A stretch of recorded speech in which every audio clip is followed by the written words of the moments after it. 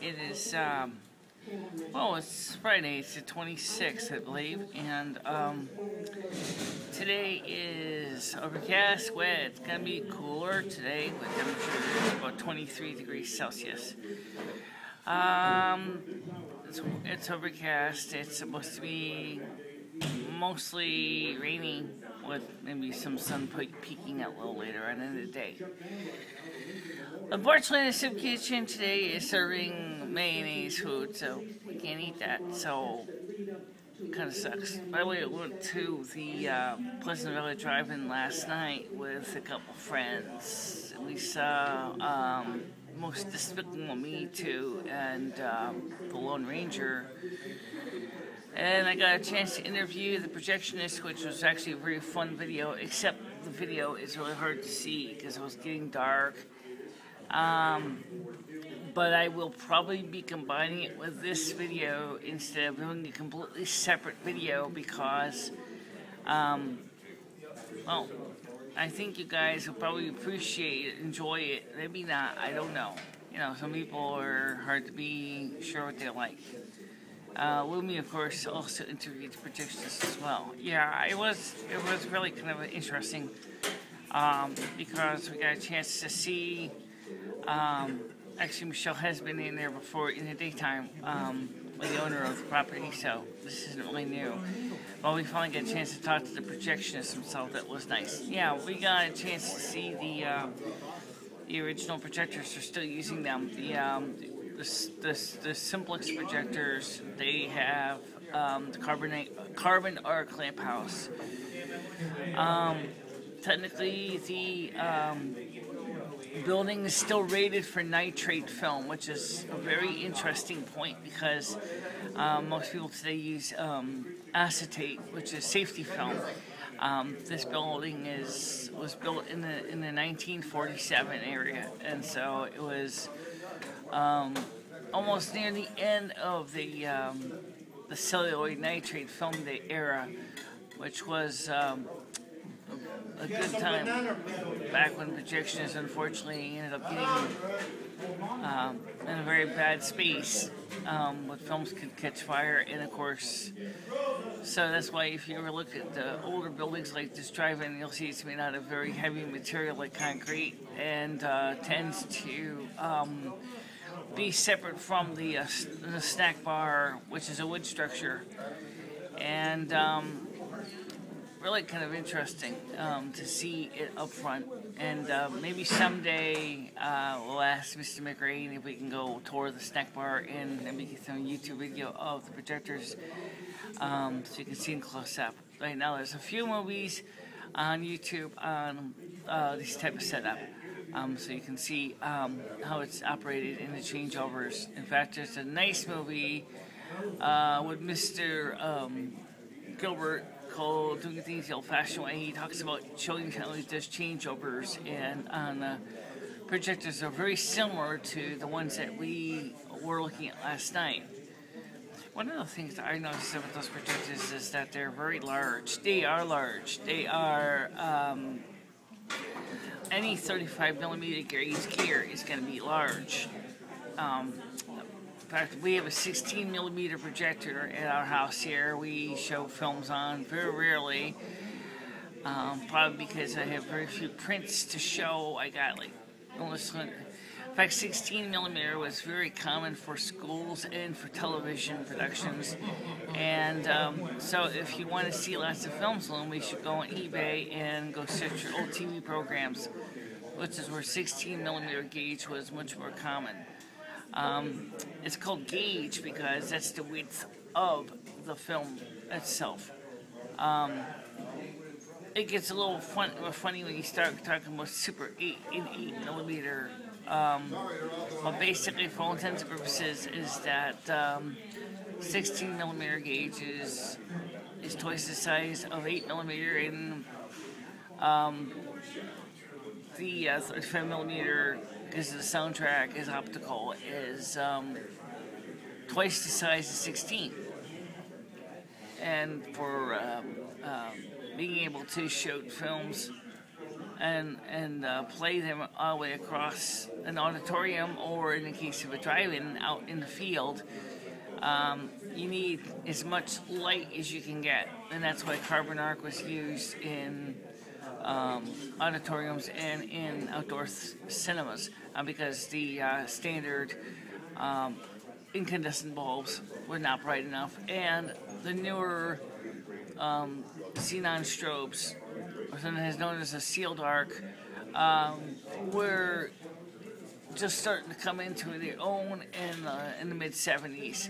The problem with the sealed arc bulb is the fact is that um, they can explode. Um, so in other words, we went from from projections life being spared by going to a safety film to putting them back in peril again with exploding lamp houses. Never mind electrocution. Electrocution, yeah, especially older equipment with wiring and stuff, they can, you know, be a problem as well. Uh, by the way, I had a chance to um, do some research, just vaguely, briefly, about um, Apple's um, investigation into the two electrocutions in China due to potentially, I didn't say it was confirmed, um, about inexpensive cell phone chargers that were not providing proper protection. Notice that the people that were electrocuted were both using iPhones with metal sides. Now I have iPhone 3GS,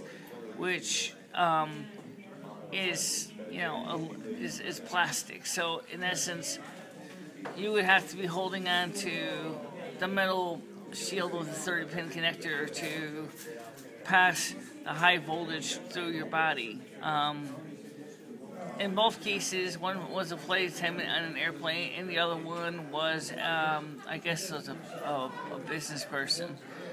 Um, they obviously were in locations where they completed the electrical circuit. When the phone was plugged into these potentially cheap chargers, can't really tell you what it, it just was the way it was, I guess. So anyway, we got um, some new video for you. Oh, by the way, let me remind you right now, very simply enough, that it was very dark. Um, so if you're watching, gonna watch the video uh, about interview with the projectionist, you're really not gonna see very much at all. Um, the iPhone 3GS was really trying to compensate for the low light, and because um, the sun already had gone down.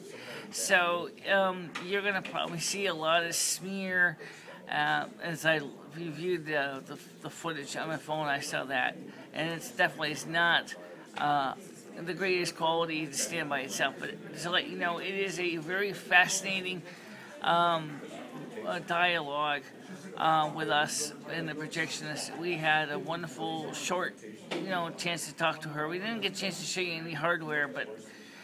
Um, maybe in the near future, like I said, the owner of the drive-in may give me and let me a chance to uh, do a revisit and um, you know see the film, um, see the equipment. Oh, by the way, the uh, the two movies were interesting. I, I thought Despicable Despicable Me 2 was kind of cool. I thought The Lone Ranger with Johnny Depp was kind of. Eh, I don't like westerns that much anyway, so I guess I guess that's why I wasn't really too impressed by it. No, it was it was okay. It was just it's dark. Um, but that could have been because of the um, equipment too. Could have been, but I think that yeah, looking at Despicable Me, it definitely looks like it definitely was a light problem. Um, as the projectionist pointed out, one of the first surface mirrors long ago was replaced by a piece of sheet metal um, which unfortunately has a lower light output than the first Surface uh, mirror. That was that reflects the parabolic mirror reflects the arc into the film gate. So um, yeah, I think that definitely was part of the problem. Yeah. Well, anyway, so still, it'll be still really good movie to watch if you like westerns. Is Lone Ranger, and if you like um, animation, Despicable Me 2 wasn't bad. I didn't even see the first one in its entirety. Yeah, I know. Okay, so anyway, we're gonna let you go. I'm gonna put the film on for you. You can watch this, and then you can uh, Um, by the way, let me just remind you, even though she said this in the video, they, um, the um, motion picture industry uh, was hoping to get everybody over to digital, and they wanted to try to face um, film out but in five years approximately. I don't personally think that's to happen. I, I don't think it's going to happen either for a lot of reasons. Um, they the standard digital projector she said cost about seventy thousand dollars. Yeah, and that's kind of like, you know, for like from Mr., from the owner of this drive, and he's already has his simplexes since they opened up in 1947. That's pretty much is paid for. In other words, right now he's getting uh, what we call um, negative depreciation. In other words, he's actually not losing money on the um, depreciation of the equipment because the equipment already has reached a value of zero, which now he's basically earning um, money because the projector for every year it still works um, has you know it's been making him money in the form of sales uh, tickets. So he's been doing pretty well with that. So i think it's really very amazing um, to talk about that. And of course, the technology is 80 years old, for God's sakes, and yet the projectors are still running very well, mind you. Uh, so there's something to be said about the testimonial about older quality stuff being made in the USA. Um, if that projector was made in China, it might last about 10 years. I think you're right. I, I think I know I'm right. And if we had electronic, you know, xenon strobe lighting, and it, it probably the the circuit board will probably give out maybe about five, maybe three, maybe three years. And those bul- the bulbs are very expensive. They cost about anywhere from fourteen hundred to two thousand dollars a piece. Even if you can get like hundred hours of operation out of them, um, that's a lot of you know that's a lot of money to go out per per hour of lighting. The carbon arc rods are still relatively inexpensive. The problem is, is like she said, is it's the suppliers are getting harder to find in the sizes they need. What is it, a 5 and 9? No, it's like a 7 and 9. 7 and 9 carbon arc rods. So, because the minus is a 7 and the positive is the 9. Okay, so the shorter rod is in the back of the lighthouse. The, the, the thinner rod is in the back of the lighthouse. Yes. Um, and the thicker rod is in the front of the lighthouse. It may not seem like much of a big difference, but it is um, the nature of the beast. Yeah. So, anyway, here we go with that. Enjoy. Hi guys, it's me. It is uh, the 25th of uh, July. And by the way, I'm with a couple people. We're going to be watching a movie here at the Pleasant Valley Drive-In here in Winsted, Connecticut. Places because we're bored and nothing else to do. I have Tina here. Say hi. Hi. And of course, her husband's here, and it's here.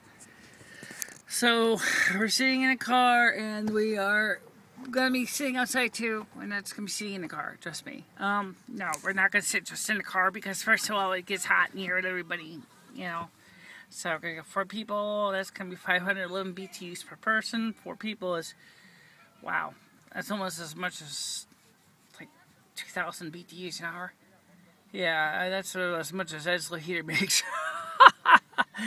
um, anyway, so we're gonna be going to watch the movie. Let's be, every time I just keep forgetting to do this. Watch out for the switch. And watch out for the button that starts and stops it. Yeah.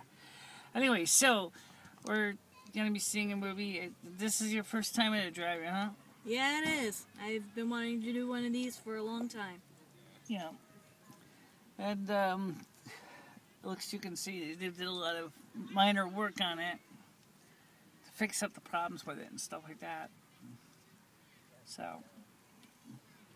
anyway, right now let's see how many we don't got we don't got a full car here, but uh, we got people here obviously. They're in the trunk. You know, if we put the clo- if we close the boot, we'd be able to see better. Um, anyway, so we're near the front. The two movies tonight are going to be um, Despicable Me 2 and The Lone, Lone Ranger. Ranger. Which one are you more interested in? Actually, I've been wanting to see both of them. Um, I know I've heard that some people say that the Lone Ranger, uh, with Johnny Depp as Tonto, has got problems with it. I don't know. But yeah, the critics always see things like that. Yeah, they do. um, Despicable Me, and I don't even remember all Despicable Me 1. Never mind Despicable Me 2. I didn't get a chance to see that one, but Yeah, well, this one that we got introduced to the little yellow guys, Minions. minions. At least you remember that. I forgot they were called minions. So, anyway, so we're gonna be checking out the video and see how it came out. And believe it or not, on, you're gonna get out of I got three bars out of five in T-Mobile out here in the middle of nowhere, USA. Actually, Pleasant Valley, Connecticut. But mm. either way, if you want to go to Pleasant Valley General Store, you're gonna have to get in your time machine because it doesn't exist anymore. What do you think of that? I, feel bad because those little general stores were what once what made uh, this country. Yeah, and of course, you know, I think they probably closed because there really wasn't really much business anymore. Yeah. And that's what happens too. Well, let's take a quick look outside the car right now. Since we're recording, let's make sure we're still recording. Yep, we're still recording. Let's see if we can take a quick look out here. So that probably is probably at least not even two years old. You think? You can't see anything. It's pitch black. Well, as far as the camera goes, anyway. Um, you got your kids. They're playing. Got the movie screen right in front of us. You can see that. Yeah, I can see that. We even got little kids in the front of the screen. They're running around or playing ball. And Michelle, Michelle, why don't you go ask Mr. McGrain if you can have permission to go in there with him to show you the, the, the projector room. I'm um, not doing your he's lighted I there. don't think he wants to do it right now at this time. Now he's probably getting ready to throw all the movies in place. Um, but maybe we can ask him next time when it's during the daytime. Because I don't think he's going to have time right now to do that. It's blocking the chairs. Yeah, well, they switched over to a whole new setup since the original screen. Um, let me just show you real quick around here. Far as I can go, public area anyway. These uh, projection area is also where the bathrooms are. This projection facility originally was uh, for two carbon arc projectors, and um, that's the men's room here on this side. And um, I'll just show you much has changed here.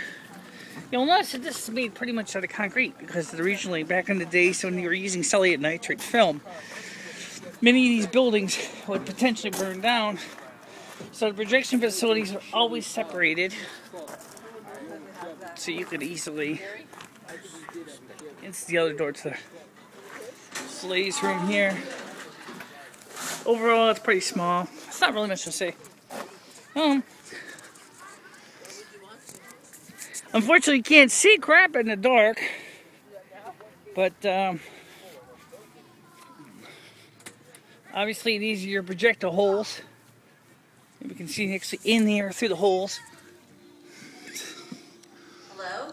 Hi, just checking it out. Yeah. Well, going in there. so you still got the old, you still got the old film ones, huh? Yep. You got both, huh? New and old. So- off of carbon rod. So this is the carbon one right They here. both are. There's, Okay, so you're still using the old projector system. Yeah, these are from 1937 or something like that. Yeah. Yeah. Oh, it's it was because everybody kept telling me they were using the new digital stuff, and Well, eventually, well, if it works, I mean, carbon rods are not that expensive. well, they, they are because there's very few um, companies that make them in the States, so right, right.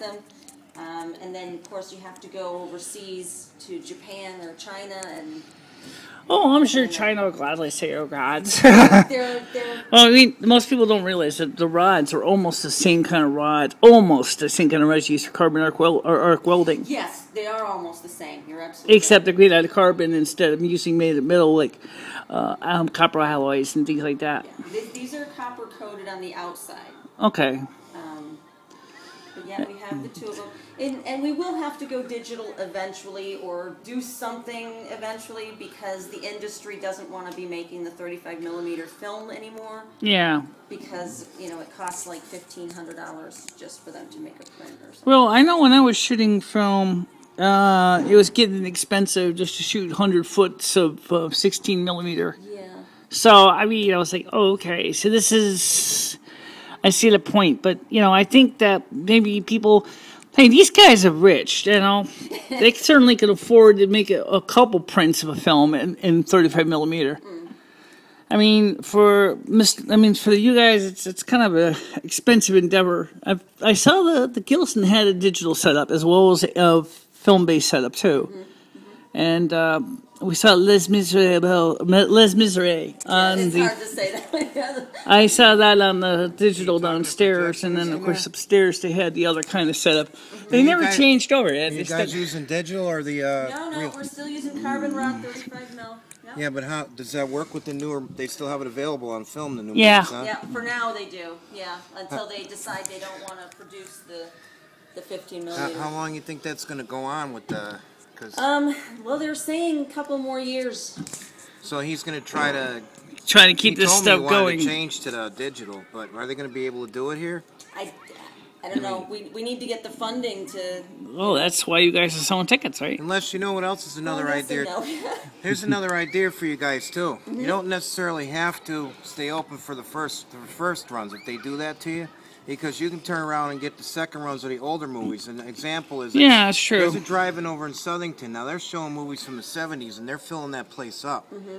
So you Yeah. could stay open still, just showing you know, because they do it all the time on cable and regular VCRs anyway. right, right. So you guys could still make it because people come to the drive-in for the experience, not really what's playing. You know, they, a lot of people like to watch older. I would love to have showed my YouTubers the equipment, but you guys are getting ready soon to show your films. Yeah. And so I don't think it would be a good time to go in there and take a look at the equipment. Because it gets busy in there, with the, especially when you start your does. first projector, and starting the arc, and getting that thing going. yeah, yeah. Because you have to get it going just all right. Yes, yes. And each of those rods will last about half hour. No, no, the rods, uh, depending on the size of the reels, I can get them to, to burn through probably about three, four reels. Really? Yeah, yeah. Because I've seen like on one guy showing uh, how the changeovers were done. Is when they would run for about thirty minutes, and then you would, uh, when the second reel was getting ready to start projector two, you turn off the first projector and let the carbon arc stubs cool, and You then guys could still get parts Pull 'em for out. these projectors. Still, Parts? still parts. No. No? No, these are these are ancient. How does They're he keep the them going then? He must. so- He must have to get them like secondhand or something, right? eBay. Unless unless we have you know an, an engineer or a, a metal person that can build parts Right. for us, then it is it is scalp them off of. I would think the biggest parts in those things that probably would wear out is uh, the uh, the belts. These are the same ones that were here since this opened. Yes. Yes, those Yeah. So are originals. ni- from 1940 something, right? Well, Yeah. um, I think that's when they built the place, but they're from a uh, World War II warship or something like that. Oh, or yeah? moved Yeah. From a, whatever, but they were. Um, they were Well, you know what's funny is like I was just saying in the introduction of the video, this these this building was built the way it was specifically because back in the old days they used to use celluloid nitrate film, Yes. so they would have these shutters. You probably do have them. Yeah, yeah, you do. Yeah, I do. I have a shutter up. You have a shutter here, and the shutter closes Did over. you, uh, Yeah. miss? Did you know that um, drive-ins? I was reading on the internet. They're they're coming back. Oh, that's Pe- great. They're trying to come back. I was reading that on the internet. Yeah, But I think now the there's like somebody that's trying to open one up in Amenia. Meaning in New York. Yeah. Oh yeah. That'd be cool. yeah. But the only thing is, like I was just talking about, is is this digital. If they do that, it's going to be expensive because the new projectors are very expensive. That's what they were Yeah. saying. Oh, absolutely. Yeah. They're Well, saying- basically, the new projectors are very similar to the ones you'll see, All it like is is yours. a huge just a DVD player, right? I, that, kind of I a- have not seen one. Um, but they're saying it's like seventy thousand just for one projector. Yeah, For digital. it is, and it's it uses xenon strobe, which is even more dangerous than carbon arc. Yeah. because those bulbs can go boom. Yeah. And then you want to really kind of pray to God you wish those shutters would come down. Because you don't have to You know hear what I you was wondering scream. too? How come Mr. McGrain doesn't have uh, flea markets in here? Because a lot of the drive-ins have the flea markets and car shows. I That just you'd have to talk to his wife about. Just for my audience, we're talking about the projection equipment, Yeah, 'cause but I'm unfortunately it's getting dark, um, so because they're gonna huge get ready. driving up in Mansfield, and they have, uh, you know, the, the car shows and the flea markets. You know, you ever been up there? No. Well, let me thousand car drive. let me ask you. For, let me ask you a quick technical question about the first surface mirrors that's behind the uh, the rods. So they tend to get cloudy and tarnished over a while. Do you send them to a scientific mirror refurbishing place? Because I don't know what they do with them. Um, the mirrors that we're running in here, um, the one here in projector two is a metal mirror. The one in projector one is actually a glass mirror. Mm-hmm. right, the first So, original first surface mirror. We Yeah. don't know. I don't know what they do. Um, Well, I know that they polish them just like they do telescope mirrors, which is first surface mirrors also. So I'm saying a telescope place for scientific observatories and stuff probably could make them, but oh, they yeah. they're a lot smaller than obviously most. I mean, even in Yeah, oh, Hawaii's is observatory. Yeah, I'm sure. What is what's the diameter on those? About I, I don't know, twelve. so about a foot diameter. Yeah, probably. About the uh, size of a vinyl record. Pretty much. Yeah, a Yeah. bit, little bit bigger, but. Mm. So the cool thing about this setup is is that you guys obviously have the soundtrack is on the D is on the CD. No, the soundtrack is right on. Oh, it's on the optical film track on this. Because I know some places they actually have a separate CD with the sound to sync to the movies. Yeah, no, we don't have to sync anything because it's you know this is our sound down in here. That's a Um, sound drum. Yeah. Unfortunately, my camera people can't see that. There's a sound drum below the actual projector's lens that carries the soundtrack. Is it still using the original photo sensors or using a solar cell now? I don't know what you're talking about. Well, the pickup, so the delay pickup, is it still using a photodiode or is it using a solar cell? I told I was told that they were going to change over to solar cells instead of the old photodiodes. I You don't know it. I couldn't tell you if there's anything solar. That's a little bit more than you know. Believe it or not, I actually studied the service manual on that thing. and the pickups unit. I was thinking about getting one of those for fun. Just to put in my apartment. Yeah. And actually use it to show movies, but I can't seem to find anything but trailers on eBay. Yeah. You know. I got a 16 millimeter Bell and Howell projector, which I use. It's a little portable one. Okay, they're gonna get ready to go ahead. Okay, thanks. I'm just checking here. Can't really see. It's dark in there right now. That's pretty cool. She's getting ready to show the film, Eric, so we gotta head out. Have a nice day. Well, that's it, guys. That's that's a wrap. That's how it all works. Oh God, I gotta edit this film down. yeah, let's be glad it's film. It's not actually. T- it's DVD. It's not film. Yeah. It was DVD. Oh, whatever. so, see you guys later. Don't forget to like and share. Bye.